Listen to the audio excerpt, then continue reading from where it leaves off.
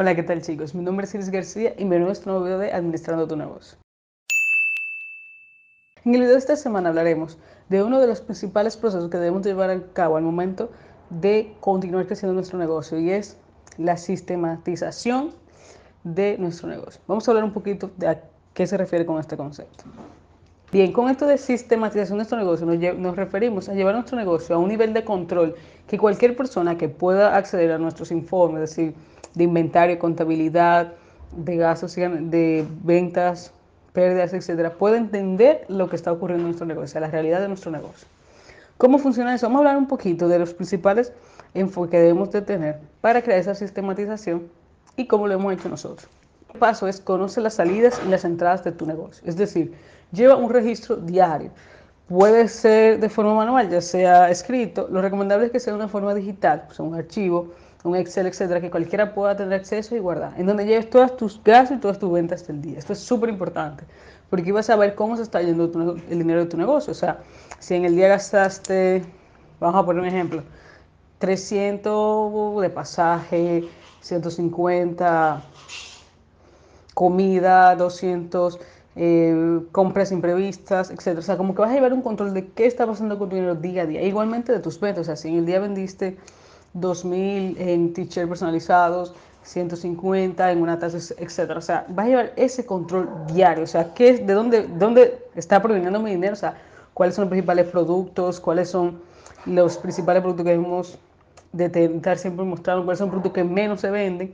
Y de ahí vas a tener también un control de qué, dónde está yendo su dinero, o sea, dónde está gastando, qué debo controlar, dónde debo enfocarme, qué debo hacer una compra en mayor volumen, etcétera. O sea, ese control de gastos y ventas, de tus entradas y salidas.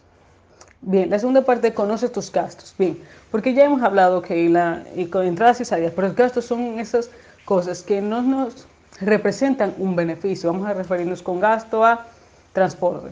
Es un gasto fijo, o sea, tú tienes que transportarte y no necesariamente por tu transportarte vas a tener un retorno, o sea, eso no es algo que te va a retornar como el comprar 50 tazas, ¿me entiendes? Que después la vas a personalizar y la vas a poder vender. Entonces, conoce cuáles son tus gastos y delimítalos. Es decir, tengo gastos de transporte, gastos de el servicio eléctrico, sueldo, etc. O sea, especifica cuáles son esos gastos para que puedas llevar un control sobre estos. Ahora, si comienzas a gastar, eh, vamos a comprar una merienda, vamos a comprar esto y esto y esto, no conoces cuáles son tus gastos, al final del mes se ha ido tu dinero y no sabes en dónde, porque no sabes dónde estás gastando. O sea, recuerda, tienes costos y tienes gastos. Los costos son eso que necesitamos para crear la producción de nuestro producto, o sea, nuestras tasas, nuestro inventario que hay que comprar. Gastos son esas cosas que no nos representan un, retorno de inmediato. Entonces, es como una emergencia, los servicios, etcétera. O sea, conoce cuáles son tus gastos. Después, conoce tu inventario. Esto es algo muy importante porque esto nos ayuda a llevar un mayor control sobre nuestro negocio para evitar esas emergencias en las que nos quedamos sin materiales. Por ejemplo, imagínate que tienes un proyecto de 50 t-shirts.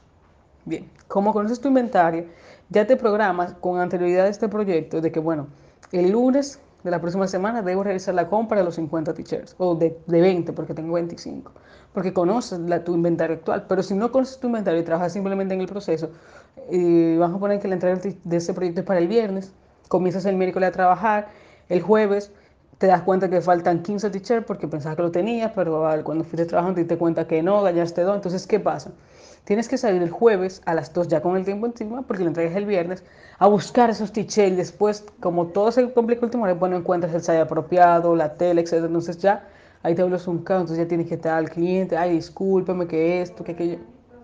Por eso es importante que conozcas tu inventario. Conociendo tu inventario vas a poder trabajar de forma más eficiente, porque si ya con anterioridad sabía la cantidad de t-shirts que tenía, simplemente era comprarlo y empezaste a trabajar a lo largo de la semana. Pero como no lo, no lo hacías, no conoces tu inventario, a última hora, entonces comenzaste a trabajar, te diste cuenta y ya ahí está el corre-corre.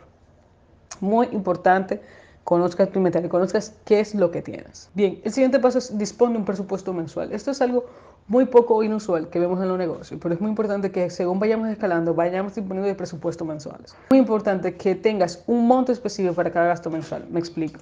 Por ejemplo, mensualmente dispone 30 mil pesos para los servicios. Esto es algo muy importante porque ya como debes de saber que mensualmente tienes que pagar los servicios que suman 30 mil pesos, te vas a asegurar de a lo largo de mes ir sacando esta cantidad para que ya la última fecha no tenga que presentar una emergencia y un corre-corre porque no dispones del dinero. O sea, dispone de presupuestos mensuales. Si sabes que tus empleados tienen que pagar 50 mil pesos mensual, saca ese monto. Si entiendes, sabes que en los gastos de transporte van 2 mil pesos, saca ese monto. Si sabes que en los servicios tienes que gastar 5 saca, o sea, siempre dispone de presupuesto mensual para esos gastos, esos costos y esos gastos fijos que ya tienes y que ya conoces. Así vas a andar de forma más organizada y no vas a estar a última hora, entonces, ay, que no encuentro el dinero, eh, préstame tanto, préstame aquí, préstame allí, porque no sabías que al final del mes tenías esos gastos. O sea, que dispone de presupuestos mensuales. Si con, esto va muy atado de conocer tu inventario, ya sabes tu inventario, se puedes disponer que en este mes vas a gastar eh, 10 mil pesos en The Teacher porque ese no sabe ya vas conociendo y ya vas a empezar a llevar un mayor control de tu negocio. Y por último, más importante es lleva todo anotado. Esto es una forma, o sea, esto es lo que referimos con contabilidad, o sea, lleva todo un registro de tus compras, tus gastos, tus ventas, tu inventario, etcétera. Para hacer esto, puedes utilizar lo más básico que sería un Excel hasta adquirir un programa de contabilidad virtual, o sea, que te hace los lo registros y todo. Pero lo importante es que lleve todo ese registro anotado, desde la más mínima gasto, la más mínima compra que tuviste que hacer de inventario hasta la venta, o sea, la más hasta un lapicero que ya vendido, lleva ese control. Porque así vas a saber claramente a final de mes qué es lo que está pasando en tu negocio. Te puedes sentar a analizar.